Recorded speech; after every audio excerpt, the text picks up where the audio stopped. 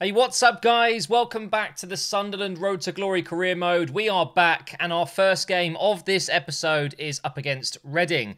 They used to be in the Premier League. I remember it very well. I'm not really sure how they're getting on at the moment in real life, but uh, currently we're sitting in ninth, I believe it is. So I don't care how good they are. We have to win. Simple as that. This is the team we're using. Let's get into the first game of this episode.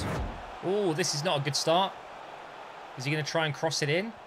He's going to play it back and then the cross will come in. Here it is. Please deal with that. Barker. Oh, wow. Oh, thankfully the shot was terrible. That defensive header, what was that? Here they come down the left side again. This Barrow guy is a pain into Swift. That's a great name. Evans couldn't close him down quick enough, but we've got the tackle in. Right, now we break. Can we get on our first proper attack? Here's Gravenberch. Put over the top for Barker. I think he's offside, though. I'm pretty sure he's offside. No? He's on. Into the box for Nmecha, and it's just not quite made it to him. We've still got it. Why not? Let's smack it. We scored a wonder goal in the last episode, and we've hit the bar. Unbelievable strike from Gravenberch. Look how much power he got on that, and it just clips the bar. That's so unlucky. There's no doubt in my mind that would have been a better goal than Kilman's against Fulham, and that's a good interception from Stewart. Yeah, I think I think that was a better strike. Such a shame it didn't go in, but now we get on the break again. It's a lovely ball into Barker. Give that to Nmecha. Come on, something from this. Try and get around. Oh, just couldn't get through more. Here we go again, though. It's Barker. Can we get around more this time? Nope. this guy, he's having the game of his life right now. No. Oh, my God, that was close. And that's the end of the first half. Very, very even. Probably looking at a draw here, guys. As, as of right now, there's not one team that's outperforming the other. Oh, no. Good block by Evans, but they're in still. Coleman just about gets there in time. And now on the counter-attack. Let's see if we can get forward. Stewart running here. We'll give that to Barker behind the defender. It's a lovely ball. No one in the box, really. So I do not want to cross it. Can I get some support here? There we go. Stewart again. Into Nmecha. Finish it. Yes! Finally! We get through this Reading defence. They've been solid. That uh, defender, Moore, as I said in the first half, is just having a really good game. But finally, we've got through. All it took was a nice bit of interplay between Stewart, uh, Barker on the left side, and then ultimately it's finished by Nmecha, of course. How many goals has he got in the Championship? Seven already, and we're still technically in September. This is the final day of September, and he's already got seven goals. I'm hoping he can catch up Rooney and overtake him. Well, that's not good, is it? And just like that, Reading score.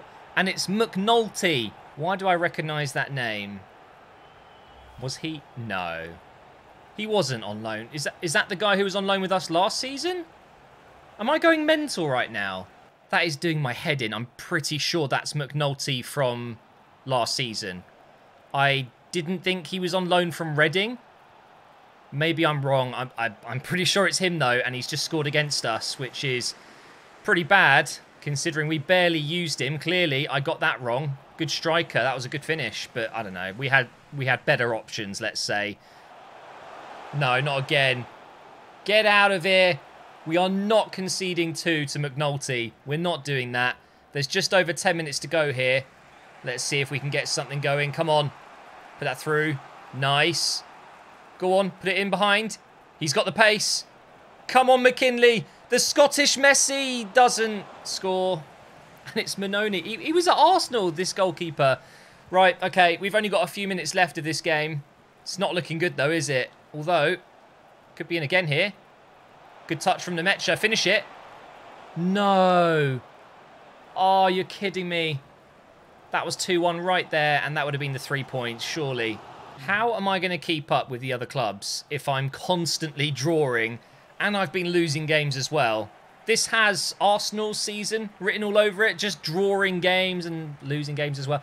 It's not been a very good period, has it? We've had some really inconsistent results. We need to start winning again because right now we are just falling away from that top four, top six, which I know it's it's probably where we should be right now, but of course you always want to aim higher. I want to be in that playoff zone by the end of the season, if possible. But right now, it doesn't seem very likely. We are struggling. And would you look at that? Lewis McKinley has been called up for international duty. He's now playing for Scotland. That's incredible. I mean, he's 73 rated now, so I guess that kind of makes sense. He should be getting called up. Uh, also, of course, Evans and Lewis going up for uh, international duty with Northern Ireland. But that's amazing. He is now playing for Scotland at such a young age. He is one of our best players. He hasn't had the best season so far, but I love using him. I think he's a he's a brilliant winger for us, and he's only going to get better, especially if he's getting international games as well. So up next, we've got Blackburn, I believe it is. We're going to change it up a little bit. We're going to go back to the two up top formation, the Diamond 4-4-2. So we've got Morris coming back in. We're going to have Edwards playing at cam. Cabaye is coming in alongside Gravenberch and Stewart there. It does mean, of course, we're playing without wingers, and we've got three of them on the bench. I don't really need that many. Let's have Wilson come in for Barker here. And is there anyone else that I want to use that I haven't been using much lately? I don't think so. We haven't been using Dobson, and I feel bad about that because he was actually a big part of uh, the first season. So we're going to take out Gooch, and I can't say that name seriously. I, am sorry, okay, I'm childish. We might bring on Dobson in the second half, and it is Blackburn, isn't it? Yeah, it is. This is a good game. Blackburn are the lowest scoring team They've only scored eight goals in 11 games. That is shocking. You thought I was bad at scoring goals. I've scored a lot more than that. That's really quite bad. And I believe we might still be one of the most defensive teams. Like they're one of the best defensive teams in the league. I'm not too sure about that. I need to, to double check. But Blackburn have made a decent start here. They've had a lot of possession in my half. Can't win the ball here. Here's Armstrong. No. Thank God for that. Coleman saves it. We can't be having Armstrong Armstrong scoring against us. Did he did he score against us when we played Blackburn last season? I can't quite remember. Obviously, he's a massive Newcastle fan, as I found out when I um, I shortlisted him, and everyone in the comments was like, "No, he's a he's a Newcastle fan." Oh, look at the space here for Gravenberch. Put it through over to the right side for Edwards. Dink it in. Go on. Oh, it's gone behind Nmecha. If that was just a slightly better cross, that was 1-0 just before the break here. Cabaye switches the play. Hang on. That could be a red card if it's if it's been blown straight away after the tackle. Because I still had possession. What's going on here? It didn't look like a red. So I'm interested to see this. It's a yellow. So why are you stopping play? Our next game is against Sheffield United as they've come down into the championship. We've lost the ball again. I'm actually going to take Cabaye off. He's having a terrible game. It's his lack of acceleration. Whenever you get the ball in that position, you need to get out. You know, you need to move the ball quickly, and that's not happening. So we will bring in Dobson. I said I would. We're just doing it a bit early. I do like Cabaye, but I don't think it works in such a narrow formation. He needs to have more time on the ball, and you just don't seem to have that in this formation. Here is Dobson now into Morris. Put it through for Nmecha. He's going to get there. You know he's going to get there. And you know he's going to score. Straight after the substitution, we score. What is that? Was Cabaye holding us back? No, I, I, don't think so. We just needed to wait for an opening, and we finally got one. And that's a really tidy finish as well. Right into the corner. Now we just need to hold on to this. Three points would be amazing at this point because we've dropped down into 11th, which is not good enough. Nice ball from Dobson there. He's actually been very good since he's come on. Is Morris now. Over to Hover. Ball comes in and it's deflected straight to the keeper. We've got 20... No, not even that. We've got 15 minutes left. Oh, that's a good ball. Morris, please make it two. Yes, we've done it, guys. We've got three points. Surely, surely we've got it now. Oh, that is such a relief. Not the best goal ever. Just a simple ball over the top. And Morris, who's really not been too involved in this game, gets his goal. Both strikers have scored now. Into injury time. We could be in again here. Loads of space for Morris to run into. It's over for Nmecha, and he makes it 3-0. Brilliant. Oh, I'm so happy. The relief is right up there right now as one of the best feelings I've had in this series because I just I need to start winning games. It gets embarrassing, you know, if I'm not winning games, it's awful. It really sucks as a YouTuber putting on your uh, your skills on display. I don't have many, so I'm really happy to get a big win here. 3-0 against Blackburn, and it has been a second half demolition, really, isn't it? Very happy with that. So although we've only moved up into 10th place, it looks worse than it is because it is close. You've got four teams there within one point of each other. I mean, that's that's quite crazy. If we can beat Sheffield United now, we will go into hopefully seventh or eighth. But uh, yeah, that's that's this is a big game. Sheffield United obviously are going to be a very strong side. They just beat Sheffield Wednesday. I'm sure that was a heated game. They're in 11th right now, so who's top. We've got Brentford. They still haven't lost a game, and neither have Burnley. I think it's safe to say, guys, we're not going to get automatic promotion this season. However, I am looking at Leeds, Derby, maybe Fulham dropping out of that uh, that third to sixth in the playoff spots, and maybe I can get into there. But now let's play against Sheffield United. We're going to change up the formation this time as well. I fancy getting in wingers and both strikers. So I was thinking maybe going to, I'll show you the formation. I used it a few times last season. Uh, it's the 3 4 2 1. So it does mean going three at the back, but we've got Kilman, Evans, and Hover there. That'll be absolutely fine. We'll go with, I think we'll go with Gravenberch and Clark. Clark is a little bit more physical and a bit more defensive than Stewart. So we're going to go with that. We're then going to go with O'Neill on the right side. Let me just put Lewis there. So we go with O'Neill there. We go with Lewis on the other side. We're going to have Gomez coming out for Morris.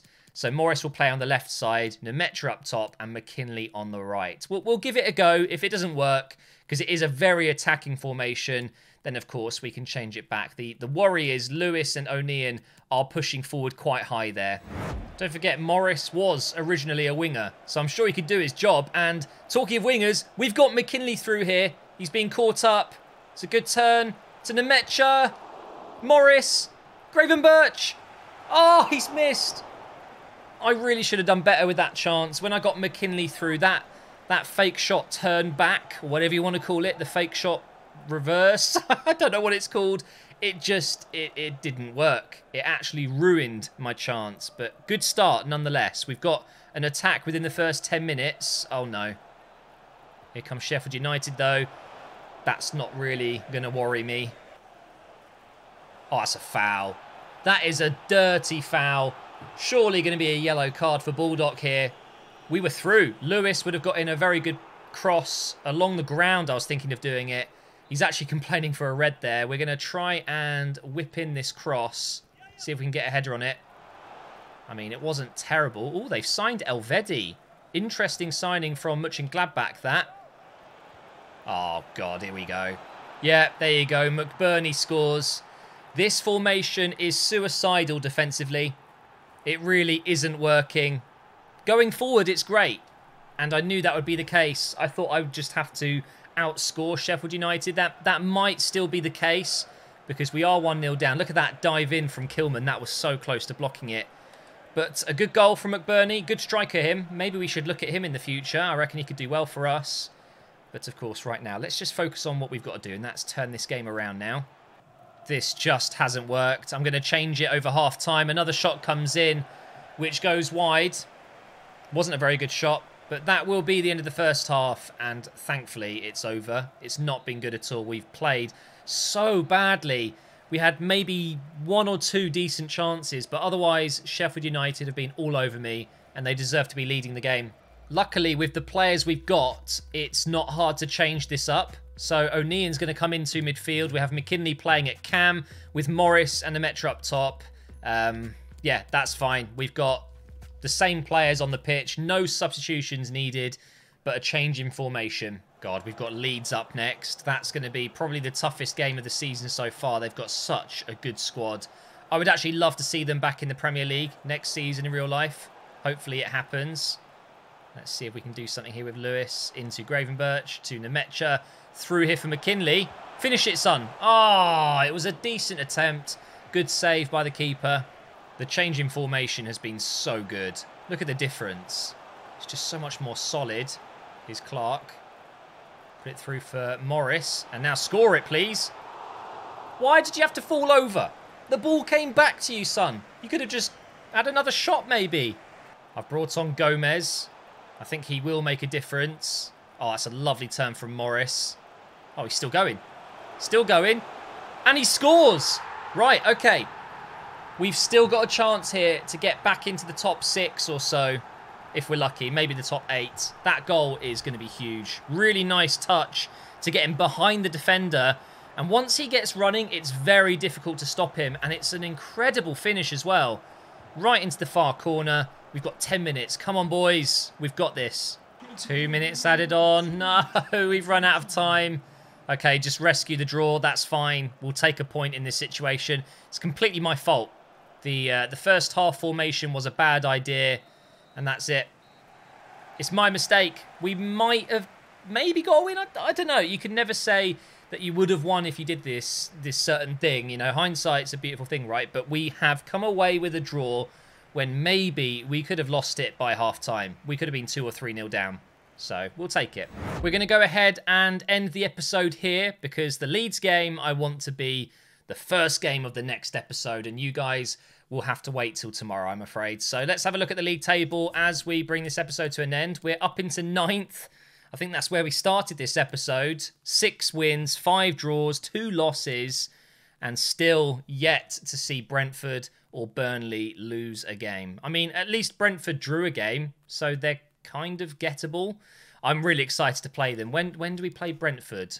I'm hoping it's soon. Brentford, where are you? I'm guessing December. Yeah, so we've got an away game to Brentford in December. That's going to be a big game. We've also got Burnley. Jeez, two massive games in a row there. So you've got that to look forward to as well. But thank you so much for watching. If you've enjoyed this episode, please do leave a like rating and I will see you for the next one very soon.